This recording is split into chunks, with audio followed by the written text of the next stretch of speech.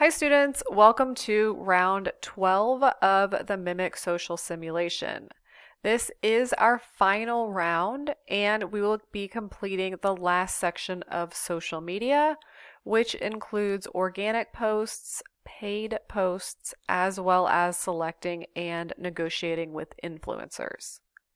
If we start out by clicking on our inbox, you'll notice that much of the information presented here from the Vice President of Marketing is very similar to the information provided from last week. So I will let you look through this on your own, but what I'm taking away from this inbox information is that this is our last week. So we want to dig into our results. We want to identify what's working we want to minimize posts on platforms that are not performing well, and we want to continue to experiment. So, this is our last opportunity to try something new. If you are a student in one of my classes this semester, please remember that I do drop your lowest two simulation rounds. So, I do encourage you to experiment because it might work out really well and give you great results. Or if it does not work out as well as you had hoped, this could be a round that you drop. And unfortunately, you won't know until you try. So let's go ahead and click on results. When clicking on my results, what I want to look for in this round is I want to click on the post history because if you remember, it gives me information on all of the previous rounds and I can sort it by all channels or individual specific platforms. I want to go ahead and sort by all channels because I want to look to see which platforms performed the best and which types of posts performed the best over the entire simulation up until this point. So I'm going to scroll down and again, if you're in my class, remember I'm grading you on impressions, engagements, clicks, and conversions. So I want to look at each of these four metrics. So the first metric I click on is the impressions. And I can see that I have three sponsored posts on YouTube, followed by two sponsored posts on TikTok, and then one sponsored post on Pinterest. So overall, I can see that my impressions are highest for my sponsored posts. And I can see that the posts on YouTube are higher than the posts on TikTok and Pinterest. So I will likely create another sponsored post this week on YouTube. Let's look at our engagements. If we look at engagements, we have no change. We've got our top three YouTube posts, two TikTok posts, and one Pinterest. So looking at engagements, this stays exactly the same. I can also see that again, YouTube is quite a bit higher, especially this first post, than my post down here on Pinterest and even some of my TikTok posts. Let's click on the clicks. So again, no change in the order of my top posts. And finally, we'll click on conversions. So on conversions, we can see my YouTube posts have stayed in the exact same uh, exact same manner for the entire time. However, now my Pinterest post moves up above my TikTok posts in terms of conversions. If I look at Pinterest, we have 453 conversions compared to 408 and 389. I can also look at my revenue, and my revenue follows the same pattern as my conversions. So, what this tells me is that YouTube and I'm going to say TikTok are performing the best in terms of my metrics. So, I want to make sure that I run a YouTube advertisement as well as a TikTok advertisement. This time, I am not going to run an advertisement on Pinterest, and instead, my organic posts that performed the best were two Instagram posts. So instead of creating an Instagram post that is organic, I'm actually going to go ahead and create a third paid advertisement this week and run it on Instagram to see how well an Instagram advertisement does for me. If I look at my influencer history, I can scroll down and look at all of my influencers. And let's again sort on some of these metrics. I can see that Chris Renauld is performing the highest for me on impressions.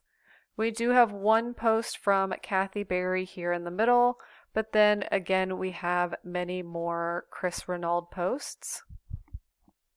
We can click on engagements and we see roughly the same pattern, except this time Kathy Berry did move down a little bit and the Chris Renauld Facebook posts moved up. We could also click on likes and as expected, we see the exact same pattern as engagements. Let's look at our clicks. Again, very similar. We can see that Chris Renauld is performing really well. If I look at conversions, I expect roughly the same thing. This time, however, we do see that Ryan Ball has moved up into the top 10, although Ryan is listed at number 10. Lastly, let's look at my revenue. And once again, Chris Renauld is producing the highest amount of revenue, although the revenue per platform is not as high as the revenue on many of my paid social posts. So, this is one thing to keep in mind. While I do have a high number of impressions for my influencer, my revenue is not quite as high. If I come back and look at my post history and sort by revenue, I can see that my top revenue was over 102,000.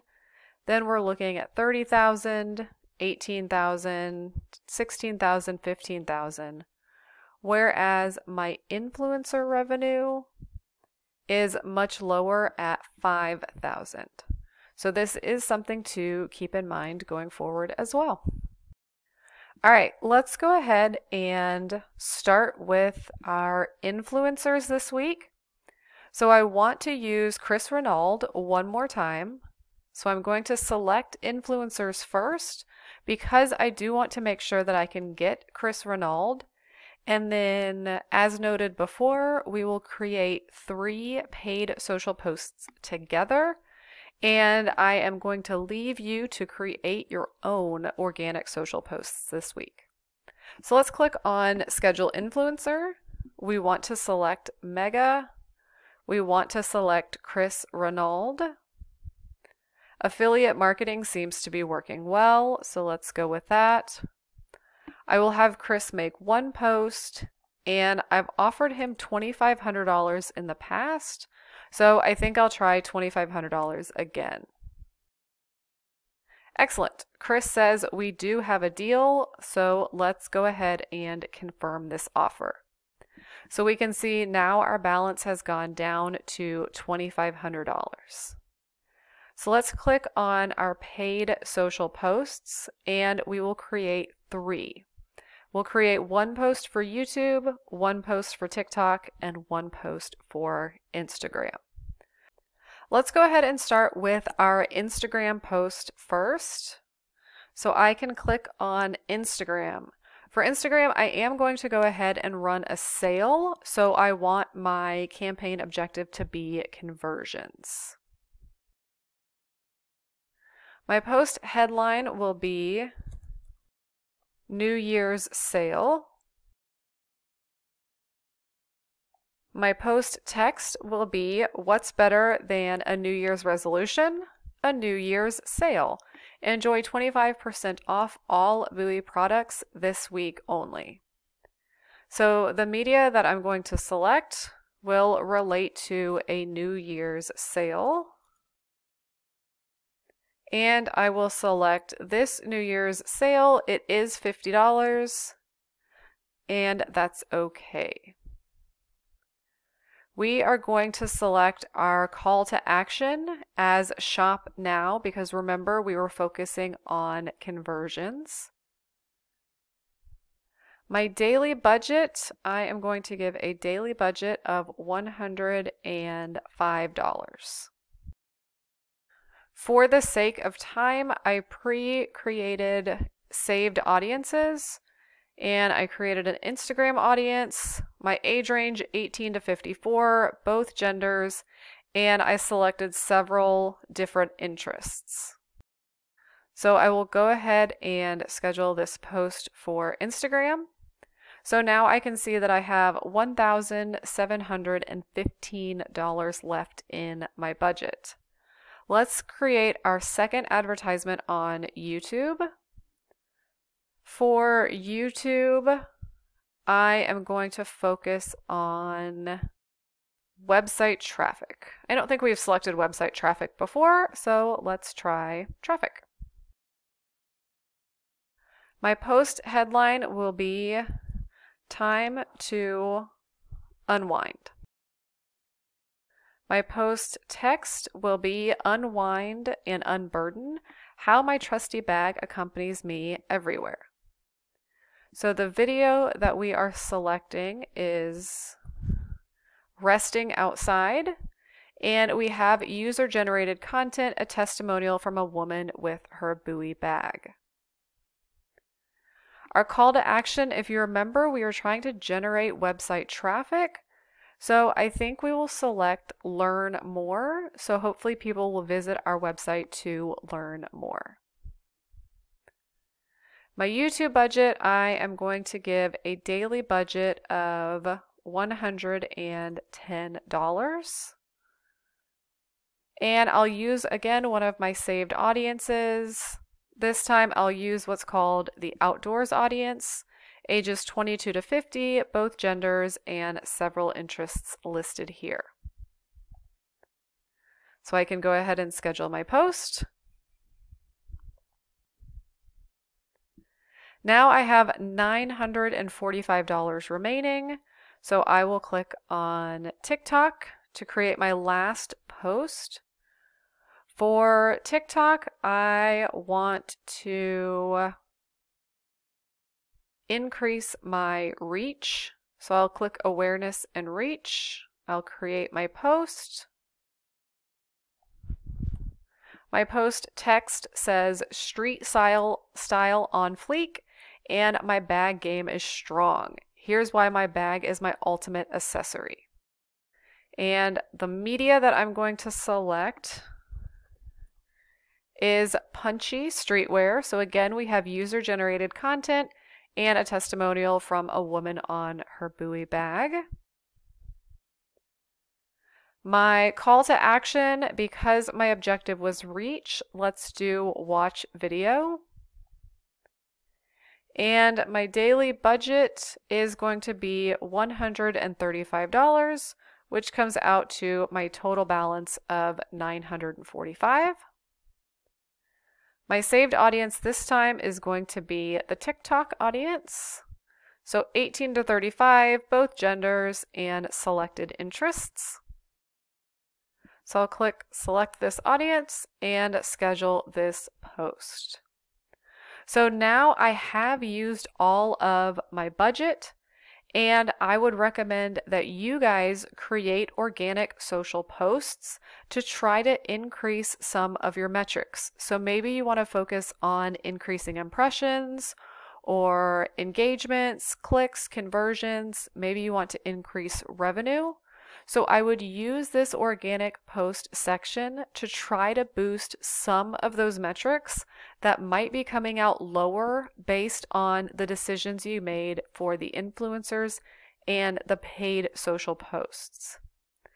For the video, I'm just going to create these two sections. I'll leave organic social posts blank.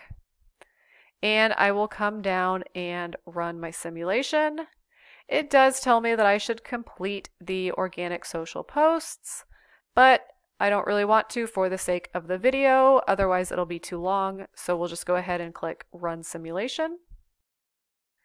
And we'll see what our results come back with. Okay, let's start out again by looking at our post history. So let's see how our sponsored posts did for this week. Let's again look at all channels. So remember, we created three paid social posts one for YouTube, one for TikTok, and one for Instagram. Okay, this time my YouTube post performed fourth.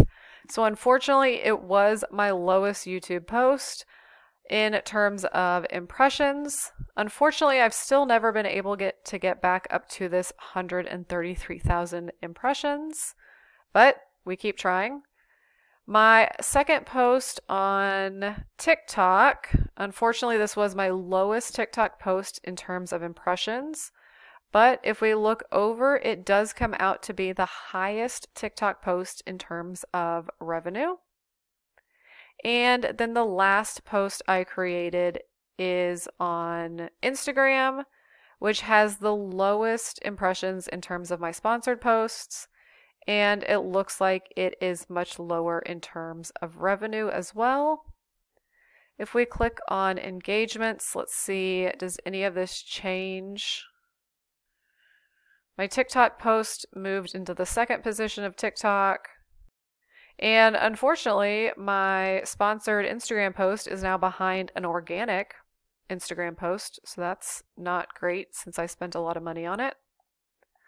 We can look at clicks, kind of information falling in about the same patterns. Let's look at conversions and then we'll click on revenue. In terms of conversions, my YouTube video this time moved up one spot. In conversions, my TikTok post moved to the highest TikTok position. And it looks like my Instagram post moved up just slightly as well. This should be basically the same for revenue. Yes. Okay, let's go look over at the influencer history. Actually, this time let's click on Influencer Analytics so we can see how well Chris Renaud performed in this round for us. So we can see that 2.8 million impressions were generated, 177 conversions, and $12,000 in revenue. If we look at our influencer history all together, let's see if we can figure out which posts these were. It looks like my TikTok post was the highest.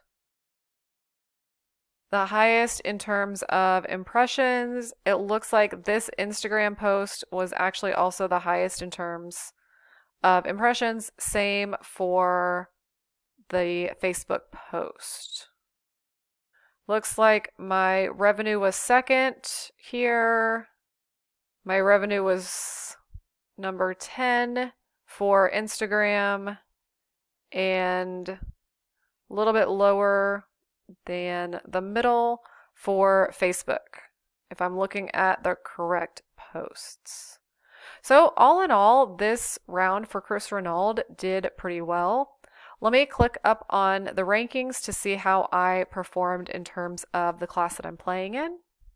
When looking at the class that I'm playing in, I am ranked number 10 in terms of revenue and number 8 in terms of impressions. So this is our last round. This is our last video for the semester. I wish you guys luck on this last round. Please let me know if you have any questions and good luck.